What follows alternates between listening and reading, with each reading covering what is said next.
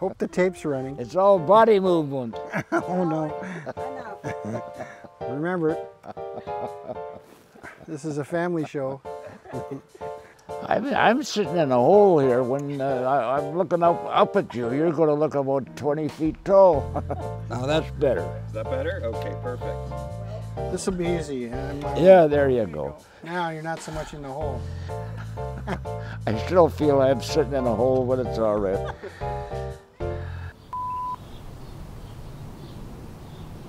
I can't remember everything. but I remember when you first started here. Who, who, who in Baysville did you get along with more than Well, you know, me? I can remember- I used to I- come and you put the goddamn I, even before, microphone in front of my, you want everybody to hear. even before that, you know what you said to me, which um, we were sitting. I was sitting in Miss Nell's, and I was brand new in town. And you came over to me and you said, "Terry, are you handy?" And I said, "What do you mean?" He says, "Do you know how to use a toolbox and possibly a hammer and maybe some wrenches?" And I said to myself, "Yeah, I'm pretty good, but." And I had concerns, but now I know exactly what you mean. When you move a bit rural, you have to know things about pumps and, That's right, and- for and sure. bolts and nuts. And Yeah, so yeah. every day, folks, as you go out to our local hardware stores, sometimes you'll see Alex there moseying around the wrenches and the bolts and nuts. And, and he does buy something always, and there's a shed here full of doubles of things I've been in before. He buys things, but I gotta say, he mostly goes to talk to people. So when you go down an aisle and you see Alex, maybe go down and get the cat food first or something else, because you might be half a day. I love to when we meet in the grocery store, and I've done this several times. I'll crash my cart into their cart just to see the looks on their face. They look up first, and they're going. Looks like Alex is going to pop me one, and then the big smile comes over. I say, "Well, how are you folks?" oh, God. We're in Alex and Rhoda's backyard overlooking the Muskoka River. This is the mouth of the Muskoka as it heads south, the south branch, and it's a beautiful, beautiful day in Baysville. So, here's my questions. I have a few. Now, they're not written Yeah, down, so I can slide secret ones in. I can answer any questions because I've heard them all. What do you think was the greatest invention in your time? The greatest invention. Yeah. Well, I got I got to go back to uh, health reasons, and I think that uh, they're doing an amazing job right now. They are they are finding so many things in the, uh, in that darn disease, cancer, that, that it makes me feel a lot better. So I think the world is going to be in a much better position in a few more years, uh, discovering the first uh, cure for cancer. So all the seniors that are out there, hang in there. All your relatives are going to have a great time in the way back uh, when the years go forward in the 2030, 2040. You'll be flying around in flying saucers and wish the hell you were back, back in the good old days of the 40s and 50s and 60s. There were the times to be alive because that's when everything was being developed to what it is today. And, uh, enough is enough.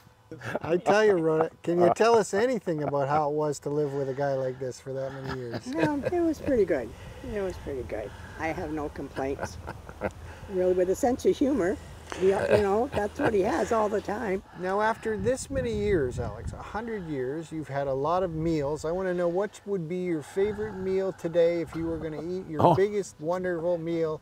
If you, could- if I could wave my magic wand and say, Alex, here's your dinner, what would it be? It, that's an easy one to answer. I was brought up, my family was six kids, and it's all we ever eat. At least twice a day was mashed potatoes and gravy. And onions on the side. We, we ate, ate food in the bulk because it was hard to get. In the, the, the end of the Depression years, that was. So I'm very fortunate to be married to somebody like Rhoda I know. looking after me very well. Alex, tell us a bit about this property here and how you came to get it and, and, and acquire it, and, and why did you choose Lake of Bays and Baysville? 1933, 1934, I was standing here, here, right here. But nothing was here but me and my father, and that's when the government was handing out land free, acres, acres of farmers to start farming and build up the area. That's in that, those years, in the 30s. These Ellis boys were great guys and, they were uh, fixing the land up for their, their, family and everything. And they had a little cabin over near the water in the lake, the bays there with a marina opposite the marina in Baysville there, some property over there. And his dad wanted to make money. It was scarce in those days, you know, when you were getting stuff from the government and things like that. So he said, my dad will sell one of those lots up there if you go and talk to him. So they came over and I remember I was about 10 years old and they were talking and my dad bought one of the lots first here and, and then bought another one the following year which ended up about uh, 120 feet frontage. 1934, 30. 34, 35, 36, like that. Two pieces of property. There's two pieces of property, that's right. One was then, and the later one, which where we're sitting right now, was uh, bought in 1941 from the Ellis family. Most of the people, the older people in Baysville, will remember all these names I'm saying. The Ellis boys, Jack, Bill, Dode Ellis, and all these people. They were great, great people, and, and they, they were the pioneers of the whole area up here in Baysville. That was just one family that were the pioneers. They owned the land right clean through the Burl Marie Road there. And, and over the years, people came up here and bought a lot here, bought a lot there, bought another lot there, and that's how it all started. What about changes to the area? Do you, um, what do you think? Has, it, has the whole place changed for the better, or would you prefer if we were back in the 50s and 60s here? No, I, I think it has changed for the better, for sure. I was a, I'm a great one for progress. You can't stand still you stand still, you end up an old tree and fall over dead. so you've got to go ahead with everything that goes on in the world. If you don't, you're left behind. Rhoda, any advice to the younger people today? The wisdom is you have to get out and see things. Yeah, that's for sure. And like, don't assume things, find out for yourselves, but you do have to get out and see what's what there's so much out there to see. I mean, we were at our ages, we've we've been you know we've traveled different places, but there's still so much I wish I could still see, but I won't get there. But um, yeah, there's just so much out there. You just have to get out and see. And Alex, have you got different advice, or are you going to go with no, that? No, that I go along with that. It's, that's uh, very right what uh, Rhoda said. It's you you got to think positive. Never think negatively. Always think positively. Because there's one thing you can't not stop, and that's time. Tomorrow always comes. What is bad today will be good tomorrow.